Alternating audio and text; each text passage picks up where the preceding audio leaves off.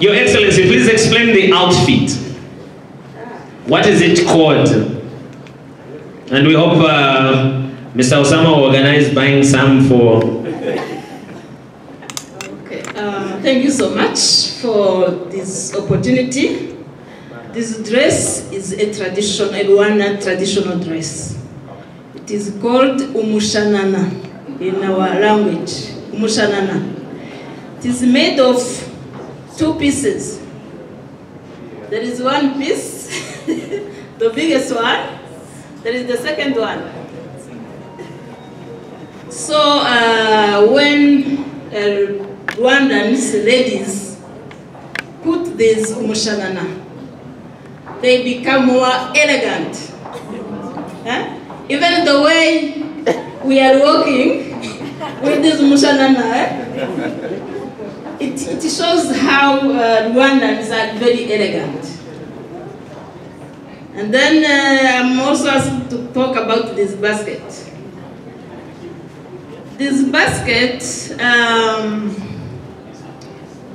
is, uh, is called uh, Inkangara in our local language, and it carries what you, you don't want people to see. It carries secret. So this was used uh, for young ladies going to sometimes going back to their parents and putting something very precious.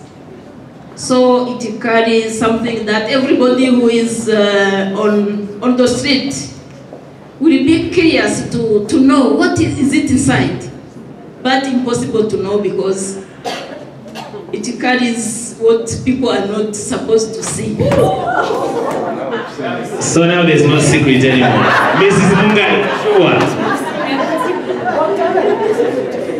So uh, these baskets are really used. It, it, they are also used in a traditional way, but now uh, in our days they are becoming like uh, uh, decoration. But normally they were used to carry uh, what we call secret. Um, There are the other things that maybe uh, we will continue to explain. And we will ensure that maybe we can get some for the, the travel agents so that if somebody comes to, to buy a ticket going to Rwanda, they also know what they can get from Rwanda. There are also other that are very small. So there are also some small, but uh, they are not here. But you can find everything from Rwanda at Rwanda office, East Park Mall. Thank you. Thank you so much. All right, thank you so very much. All right, um, ladies, you may you may take your seats. Uh, shall we be upstanding? Shall we all rise up?